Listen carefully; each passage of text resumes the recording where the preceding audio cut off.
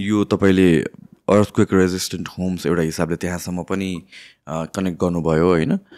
मैले पहिला एकजना रविन्द्र पुरी भन्ने उहाँलाई पनि बोलाएको थिएँ। उहाँले पनि मलाई राम्रो हिसाबले चाहिँ सर्टन साइटहरू भिजिट गराउनु भयो। कसरी बनाएको छ कसरी यो पहिलादेखि नै त्यो हाम्रो अब इन्जिनि इन्जिनियरिङ भनौँ न हाम्रो हिसाबले कसरी थियो जुन हिसाबले फ्लेक्सिबिलिटी अलाउ गर्थ्यो रिजिडिटी होइन कि फ्लेक्सिबिलिटी अनि त्यसले गरेर चाहिँ हामीहरू अर्थक्वेक प्रोन एरियामा भए पनि आई मिन त्यस्तो ड्यामेज हुन्थेन पहिला।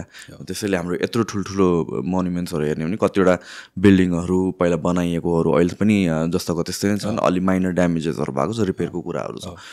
सो यो कन्टेक्समा मेरो one of the biggest fear पनि अर्थक्वेक्स नै हो कि मैले यहाँ छुट्टै एपिसोड नै गरेको छु अर्थक्वेकको एक्सपर्ट ल्याएर।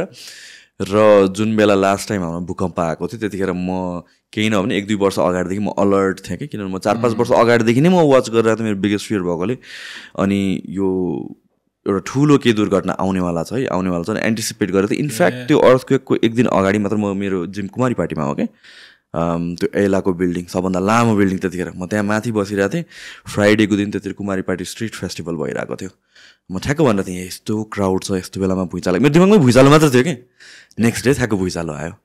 अब हाम्रो केसमा के भयो भनेपछि कतिचोटि टाइम एन्ड अगेन हाम्रो सिटी प्लानिङकै कुरा आउँछ होइन जुन चाहिँ एकदमै क्रिटिकल मलाई पनि एकदमै लाग्छ। सो त्यो कन्टेक्समा अब अहिले हेर्ने हो भने सिटी प्लानिङ गर्नको लागि अब एउटा हिसाबले हामीले बनाउनु त बनाइसक्यो हाफ हजार वेमा। अर्थको पर्सपेक्टिभले हामी कहाँ छौँ र जुन सिटी रिप्लान गर्नुपर्ने त्यो पोसिबिलिटी छ कि छैन एट दिस पोइन्ट पोसिबिलिटी त धेरै नै छ होइन? तर त्यसको लागि चाहिँ विल पावर चाहिन्छ।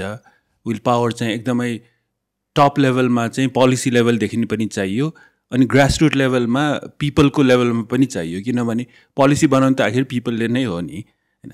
तर तपाईँले अघि भन्नुभएकोमा अलिकति एलाबोरेट गर्दाखेरि चाहिँ अहिले हाम्रो त्यति अग्लो बिल्डिङहरू बन्नु भनेको त्यो पनि कन्क्रिट जस्तो होइन? स्टिल जस्तो सिमेन्ट जस्तो रिजिड मटेरियलले बन्नु भनेको चाहिँ त्यो हेर्दाखेरि बलियो भए पनि चाहिँ अर्थको रेजिस्टिभनेस चाहिँ एकदमै कम छ compare to our flexible traditional material होइन? वुड मड मोटरहरू हुन्थ्यो। त्यसैमाथि चाहिँ अब अग्लो बिल्डिङ बनाइदिइसकेपछि होइन? के गरी त्यो बिल्डिङहरू ढल्यो भने चाहिँ जुन त्यो छेउछेउको चाहिँ ओपन स्पेस हुन्छ सडक होइन? वा घर पछाडिको आफ्नो बारी वा चाहिँ भित्री बस्तीहरूमा त अझै पनि अग्लो बिल्डिङ बने पनि त्यो पुरानो जुन चोकहरू बाहा बही होइन कोर्टयार्ड ब बाहालहरू त छ नि। त्यसैमा चाहिँ सबै त्यो अग्लो बिल्डिङ खसेर मान्छे मरेको पनि धेरै केस भएको छ यो ट्वेन्टी फिफ्टिनको अर्थक्वेकमा। तर वेराज ट्रेडिसनल्ली हेर्नुभयो भने एकदमै बाई डिजाइन त्यो अर्बन प्लानिङको जुन तपाईँले भन्नुभयो होइन त्यो चारवटा घरको बिचमा चाहिँ वा छवटा आठवटा घरको बिचमा एसेन्सियली एउटा चाहिँ कमन ओपन कोर्टयार्ड हुन्छ जसलाई चाहिँ हामी चोक भन्छौँ होइन। अलिक ठुलो चाहिँ बाहा बही भन्छौँ जुन चाहिँ रिलिजियस वेबाट पनि त्यो ओपन कोर्टयार्ड चाहिँ प्रोटेक्टेड नै हुन्छ। अनि त्यस्तै स्ट्रिटहरूमा पनि सानो स्ट्रिटमा अलिकति एक सय दुई सय मिटर गइसकेपछि एकैचोटि चाहिँ सडक फराकिलो हुन्छ क्या। त्यो ओपन स्ट्रिट चाहिँ सकेसम्म बढी भनेर चाहिँ राखेको थियौँ। त्यस्तै चाहिँ अलि सहरको छेउछेउमा त्यो खुल्ला ठुलो ओपन जमिन अ, ख्यहरू भन्छौँ होइन नेपाल नेपाल भाषामा टुरिखेल जस्तो चाहिँ हामीले धेरै राखेका छौँ। तर ब्याक टु चाहिँ त्यो त्यो हरेक त्यो अर्बन प्लानिङको चाहिँ एउटा सिम स्मल एलिमेन्ट भनेको एउटा इन्डिभिजुअल हाउस स्ट्रक्चर हो होइन? त्यो हाउस चाहिँ एसेन्सियली जम्मा साढे तिन तल्लाको हुन्थ्यो होइन? छिडी अ, म- म- माटन ग्राउन्ड फ्लोर फर्स्ट फ्लोर अनि चौध सेकेन्ड फ्लोर र माथिको चाहिँ बुइगल हाफ हाइटको त्यसले गर्दाखेरिमा नै चाहिँ त्यो बाई डिजाइन त्योभन्दा बढी कसैले पनि नउठाउने भएकोले होइन। के गरी कदम कदाचित एकदमै रङ मेटेरियल युज गरेर धेरै पुरानो भएर त्यो बिल्डिङ ढल्यो भने पनि होइन। त्यसले चाहिँ त्यो ओपन स्पेसमा चाहिँ ले चाहिँ मा त्यतिको ठाउँ खाँदैन। मान्छेहरू त ओपन स्पेसमा भागिसक्छ होइन। तर त्यसले चाहिँ ड्यामेज चाहिँ एकदमै मिनिमाइज हुने खालको चाहिँ त्यो अर्बन प्लानिङको हाम्रो पुस्ता पुर्खाहरूले त हरेकचोटि अर्थक्वेक पछि चाहिँ हामीले चाहिँ केयर इम्प्रुभ गर्न सकिन्छ हाम्रो आर्किटेक्चरमा भनेर हेरेर सिकेर चाहिँ त्यसैलाई रिडिजाइन गरेर बनाइन्थ्यो। त्यो- त्यही भएर त्यो सबै सेन्चुरिजको चाहिँ नलेजको एक्युमुलेसन चाहिँ हाम्रो आर्किटेक्चरले देखाउँछ अर्बन प्लानिङले देखाउँछ।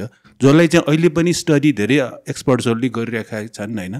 खास गरी यो ट्वेन्टी फिफ्टिनको अर्थपछि त्यो स्टडी भएको नलेज चाहिँ इम्प्लिमेन्ट गर्नको लागि चाहिँ पोलिसिजहरू बनाउन अझै सकिन्छ केही केही त बनेको छ। त्यसको लागि चाहिँ पब्लिक लेभलबाट चाहिँ अझ आवाज उठाउन सकिन्छ। सो यो पहिलादेखि नै हाम्रो जुन हाउसिङको कुराहरू छ अर्थक्वेकलाई नै ध्यान दिएर गरिएको थियो। जुन यो जुन यो तपाईँले चोकहरूको नि कुरा गर्नुभयो किनभने फन्डामेन्टली यसो हेर्दाखेरि चाहिँ यो एउटा कमन ग्राउन्ड जस्तो देखिन्छ जहाँ चाहिँ सबैजना आएर अब फर एनी पर्पज युज गरौँ भन्ने हिसाबले। तर बियोन्ड द्याट पनि अर्थक्वेक जहिले पनि हाम्रो सिभिलाइजेसन जब हामी कुरा गर्छौँ अर्थक्वेक जहिले पनि in the center of conversation भएको छ। सो त्यो अर्थक्वेकको लागि चाहिँ एकदमै मध्यनजर राखेरै डिजाइन गरेको हाम्रो सिटिज हाउसेस होइन त्यो इन्डिभिजुअल टोलहरू कमन ऊ ओपन स्पेसेसहरू होइन।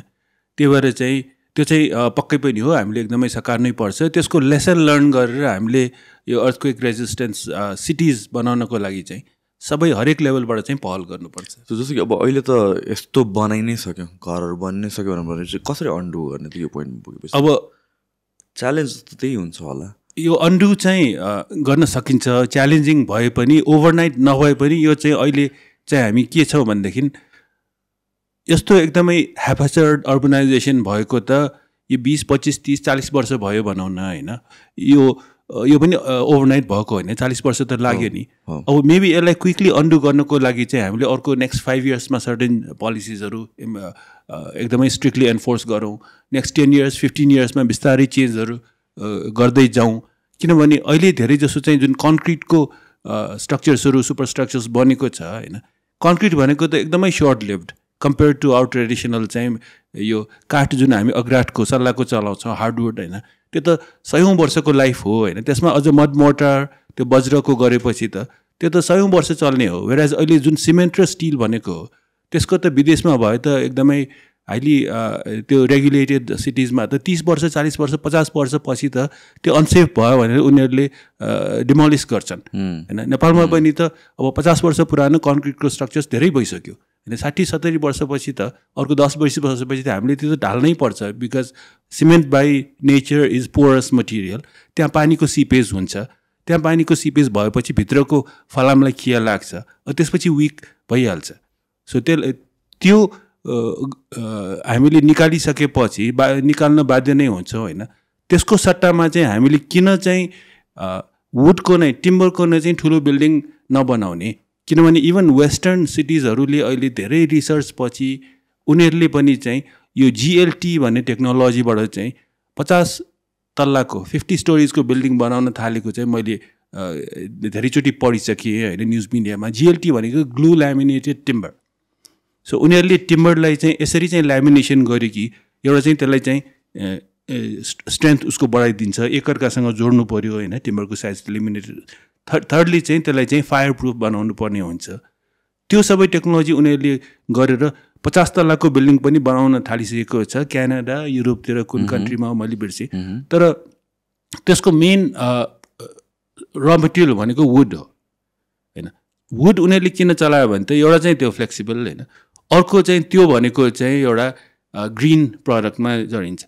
अब ग्रिन भन्दाखेरि हामीले त बच्चैदेखि रुख काट्नु हुँदैन भनेर पढ्दै आएको होइन नेपालको धन हरियो वन नेपालको धन। तर रुख भन्नालाई चाहिँ अलि यसरी हेर्नुपर्छ कि होइन? त्यो भनेको एउटा हामीले राम्रोसँग प्लान गऱ्यौँ भने it's a sustainable product that can be planted in a forest and utilize harvested and then replanted in in in in good time so that त्यो कहिल्यै नसकिने चाहिँ हाम्रो रिसोर्स हो। वेराज अहिले जुन स्टिल छ हामीले युज गर्छौँ होइन त्यो भनेको त आइरन ओर भनेको त त्यो फसिल फ्युल जस्तै हो। एक दिन त्यो आइरन ओरको चाहिँ माइनहरू सकिएपछि हामी कहाँबाट स्टिल लिन्छौँ त? सो सस्टेनेबिलिटीको एङ्गलबाट हेर्दा स्टिल भन्दा पनि वुड चाहिँ एकदमै सस्टेनेबल छ लङ लास्टिङ छ रिसाइकल गर्न मिल्छ। त्यो भएकोले चाहिँ इभेन्चुली वेस्टर्न वर्ल्ड चाहिँ त्यतैतिर गइसकेको छ होइन। हामी चाहिँ त्यसको नै फलो गर्नुपर्छ जस्तो लाग्छ। किनभने पहिलादेखि नै मुभीहरूमा सिरिजहरूमा यताउता हेर्दाखेरि बाहिरको प्रायः घरहरू भनेको कि इदर लाइक प्रिफ्याब अरू वुडको बना हुन्छ होइन? हामीहरूको चाहिँ म त्यही सोच्थेँ कि हामीहरूको चाहिँ सबै इटा इटाको देख्छौँ हामीहरू। आई मिन लाइक बिल्डिङ्सहरू इट मेक्स सेन्स ठिक छ। बाहिरको त बिल्डिङ्सहरू टलर बिल्डिङ्सहरू स्टिल कङ्क्रिट स्टिल यताउतिले बनाएको हुन्छ। बट देन लाइक आफू बस्ने घरहरू प्रायः जस्तो prefab or wood or some material like द्याटले बनेर आउँछ। हाम्रो चाहिँ यहाँ सबै चिज चाहिँ एउटा पक्काकै बन्नुपर्छ भन्ने काइन्ड अफ एउटा एउटा थट पनि छ। तर आई थिङ्क अर्थक्वेक पछि अलिकता सर्टन टाइमको लागि त्यो चेन्ज भएको थियो। प्रिफ्याब वुडको कुराहरू आएको थियो। तर हामीहरू फेरि ब्याक टु ओल्डर वेजतिर नै अहिले गइरहेको छ। बिर्सिस बिर्सिसक्यो। मान्छेले चाहिँ त्यो भूकम्पको डर बिर्सिसक्यो होइन? अग्लो घर बनाउने हेभी बनाउने। सो अर्थक्वेकको रेजिस्टेन्सको लागि त होचो र लाइट त्यो नै हुँ, र वुडको पनि वान अफ द कन्भर्सेसन अस्ति हुँदाखेरि मलाई पनि मैले रियलाइज गरेर पनि त्यही हो किनभने मैले पनि के बिलिभ गर्थेँ भने चाहिँ काठ काट्नु हुँदैन भने जुन कमन नेरेटिभ हो तर किन यसो हेर्दाखेरि त रुख त रिप्लान्ट गर्न सकिन्छ। र गर्नु पनि पर्ने त्यही नै हो इट्स रियुजेबल मटेरियल हो भनेर भने त why not use that problem कहाँ हुन्छ भने चाहिँ काटेर अनि रिप्लान्ट नगर्नुमा प्रब्लम हो।